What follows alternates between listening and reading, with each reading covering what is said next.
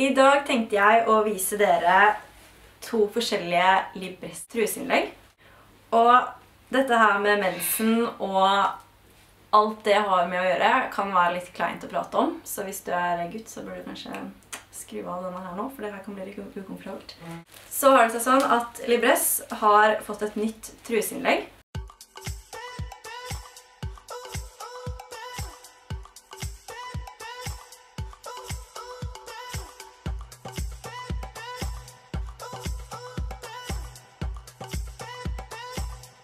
Som puster fem ganger bedre enn det forrige gjorde. Og derfor skal jeg teste ut det her.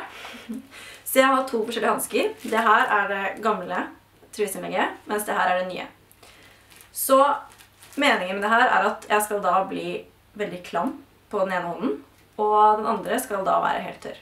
Man har jo ikke så veldig lyst til å bli eh, klam i underlivet, så jeg håper det her funker. Så mens jeg tester ut det her, så tenkte jeg å gjøre det kleinest mulig. Så jeg skal prate litt om mensen til dere. Da starter vi, fordi da kanskje blir jeg litt ekstra klam og snakke om mine egne følelser. Så dette er mensen.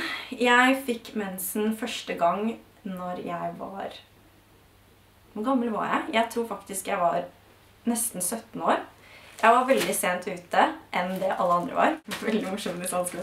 Og jeg kom veldig sent i puberteten, og jeg husker jeg syntes det var så ukomfortabelt. Og alle andre hadde fått det, og jeg hadde liksom ikke fått pupper enda, og jeg var fortsatt knøttliten, og alle bare vokste fra meg, og jeg visste ikke når jeg da skulle komme i puberteten. Og jeg husker så veldig godt at jeg fikk mensen på bursdagen til pappa. Og jeg trodde jeg hadde bæsja på meg. Jeg var helt sikker på at jeg hadde bæsja på meg. Og jeg syntes det var utrolig ukomfortabelt. Jeg visste ikke hvordan jeg skulle gå ut og spise da først etter middagen, bursdagsmiddagen til pappa. Og det var så mye, og det var brunt, og det var ekkelt, og jeg bare Det var helt krise. Så jeg måtte jo huke tak i mamma og spørre hva i alle dager her var for noe, for jeg forsto ingenting. Jeg hadde ikke merka noe. Og mamma fortalte meg da at jeg hadde fått mensen. Og jeg var så kvalm i sikkert tre uker etterpå at jeg klarte ikke å spise noe som var rødt. Jeg klarte ikke å spise ketsjup. Jeg klarte ikke å jeg klarte rett og slett ikke å være borte. Jeg klarte ikke å spise O'boy engang. Jeg klarte ikke å drikke O'boy fordi det var litt rødt på den boksen. Og jeg var så sint og gretten, og jeg var ikke med på det her i det hele tatt. Jeg nektet å komme i puberteten, for da var det plutselig ikke så kult lenger. Jeg syntes det var kjempeekkelt og orket ikke å se når jeg ville skifte bind, og jeg var kjemperar og merkelig og bare nektet for det her. Så gikk det jo seg da til. Så tenkte jeg flauser. Jeg jo, er en person som driter meg ut generelt veldig mye. Er det noen som snubler, er det meg. Er det noen som knekker tås, er det meg. Er det noen som glemmer en ting? Altså, jeg er en forferdelig klumsete person. Det syns sikkert alle venninnene mine er veldig gøy, men det er jo helt forferdelig for meg. Min første flause med mensen Det har vel vært et par skoleepisoder der jeg liksom har kanskje fått litt på stolen og fått litt panikk. Um, og jeg blør utrolig mye. Det skal sies. Det er en tsunami som kommer ut av den kroppen der.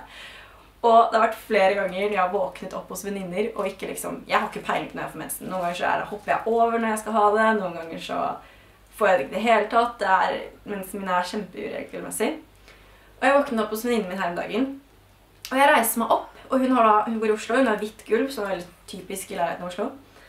Og jeg reiser meg opp, og det bare er som en boble. En vannballong som bare sprenger. Og det bare renner blod nedover beina mine. Og på gulvet, og det bare sånn rød vanndam. Så kommer hunden hennes og løper mot meg. Og jeg visste ikke hva jeg skulle gjøre, så jeg måtte jo dytte bort hunden. Og jeg tar foten min og bare dytter den forsiktig i hodet. Og selvfølgelig får jo den beige bikkja blod på hele ansiktet sitt. Og jeg måtte rope Mariell, og jeg var Mariell, og jeg bare var kjempeklein. og tenkte bare sånn, det her var faktisk litt overdreven. Bikkja di går liksom rundt med blodet midt i ansiktet ditt. Så er forferdelig. Nå begynner det å bli klamt her, faktisk. Det skal sies at dette her var ekstremt ukomfortabelt. Vi kan fortsette. Mm, jeg er ekstremt flink til å legge igjen tamponger. Spesielt når jeg har drukket og er på et nach, så er det ofte at jeg da tar ut tampongen. Mange har ikke søppelkasse på badet, spesielt hvis det er gutter. Og jeg pleier alltid da å liksom snurre den inn i papir, legger den oppå vasken, tenker jeg sånn Jeg skal putte den i veska. Men meg, etter fem-seks glass med rødvin, så er det ikke sånn det går, så jeg går ut av badet. Og det har vært flere ganger at jeg har måttet sende melding dagen derpå og si at du må dessverre kaste den flotte hoben som ligger på vasken. Og det er helt forferdelig kleint. Jeg skjønner ikke hvordan jeg klarer å gjøre det gang på gang på gang, men det skjer. Og det skjer ofte. Andre historier med meg og mensen. Jeg husker at jeg og eksen min en gang var på skogtur. Vi skulle ta bloggbilder, faktisk.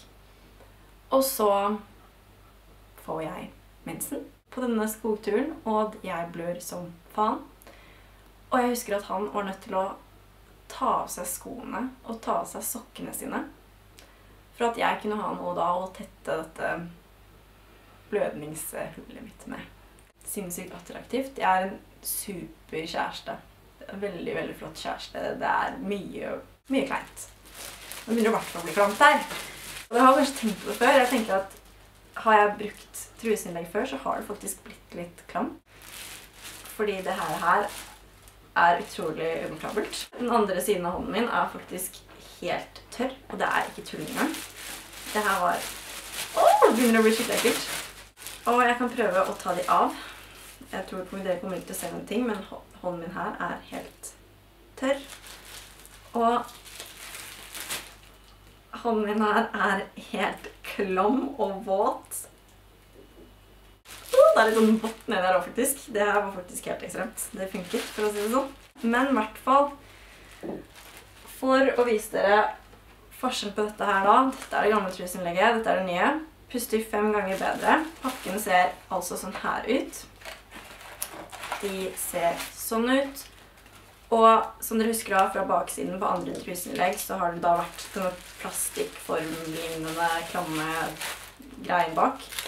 Nå er det altså det samme som den hansken her. Så det her vil si at det her puster, det blir ikke klam. Det har vi akkurat fått testet ut. Og det som er litt gøy nå, sammen med Libres, så er det en liten konkurranse dere kan melde dere på. Hvis dere følger linken jeg legger under denne videoen, så kan dere dele deres favorittsang. Det kan være hvilken som helst. Um, en sang du virkelig elsker. Da kan du vinne din drømmekonsert og Spotify Premium, som da er veldig kjekt. Slipper reklame og alt dette her. Og hvem har ikke lyst til å se sitt favorittidol live og se de spille? Mm, mange jeg kunne tenkt meg. Vi kvinner slipper ikke unna dette med mens. Og jeg har fortsatt klam på den ene hånden. Det er supernasty. Sier altfor mye jeg ikke trenger å si Og min menstruasjon. Så da håper jeg dere likte videoen, og vi snakkes.